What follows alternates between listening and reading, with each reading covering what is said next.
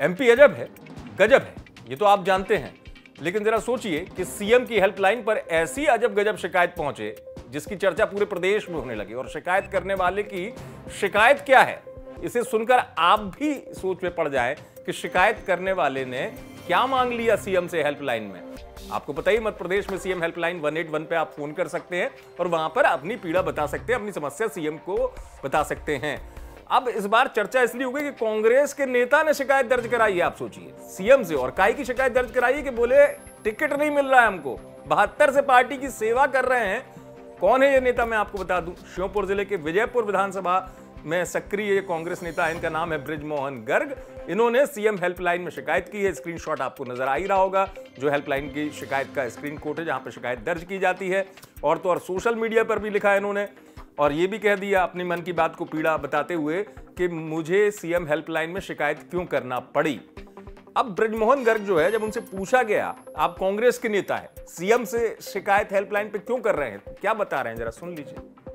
लगाया था को वो ये निपटारा, हर चीज़ के निपटारा करती है सीएल हम जो हरी शिकार लोग करते हैं तो उसको तत्काल निपटारा होता तो मैं भी एक निपटारा न्याय चाहता हूँ।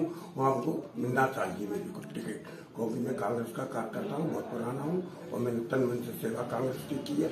मैं इसीलिए चाहता हूँ, जनता मेरी मांग कर रही है। मैं हर क्षेत्र में घूमा हूँ, हर गाँव में गया हूँ, हर लोगों को ज़रूरत अभी मेरे को, अब कांग्रेस पार्टी मेरा सर्वे कराएगी, मेरा नाम आएगा। सुना आपने, ब्रजमोहन गर्ग बता रहे हैं कि सीएम हेल्पलाइन जो है, ये वो माध्यम है जहाँ पर कुछ भी शिकायत करो तो यहाँ पर निराकरण हो जाता है।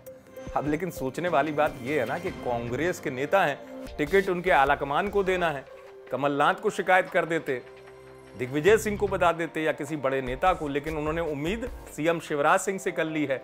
सीएम शिवराज सिंह से शिकायत कर रहे हैं, हेल्पलाइन पर, और ये मदद मांग रहे हैं कि उनको टिकट दिला दिया जाए। उन्नीस सौ बहत्तर से दरअसल अपना हवाला दे रहे हैं कि मैं कांग्रेस में सक्रिय हूँ। जिस सीट से ये टिकट चाह रहे हैं वो सीट ऐसी है कि वहाँ कांग्रेस के बड़े नेता हैं, रामनिवास रावत। वो चुनाव जीतते आए हैं। अब इतने कद्दावर नेता हैं कांग्रेस के के जो ब्रजमोहन गर्ग इनको लग रहा है कि इनको 2023 में टिकट मिल ही नहीं सकता है। अब यही वजह है कि इनको लगा कि शिकायत कहाँ दर्ज कराई जाए तो जिसकी बात पहुँच जाए ऊपर तक तो इन्होंने शिकायत दर्ज करा दी सीएम हेल्पलाइन में ही। ना कि अपने बड़े नेताओं से या अलाकामान से अपनी बात कही। इनको भरोसा सीएम शिवराज पर ज़्यादा नज़र आया और अपनी पीड़ा बता दी और ये कह दिया कि मुझे टिकट दिलवाने में मेरी मदद करिए। अब ये बात जब पहुँची और ये चिट्ठी जब सामने आई तो इसकी चर्चा अब हर तरफ़ हो रही है कि कांग्रेस नेता ने सीएम हेल्पलाइन पर क्या मांगा।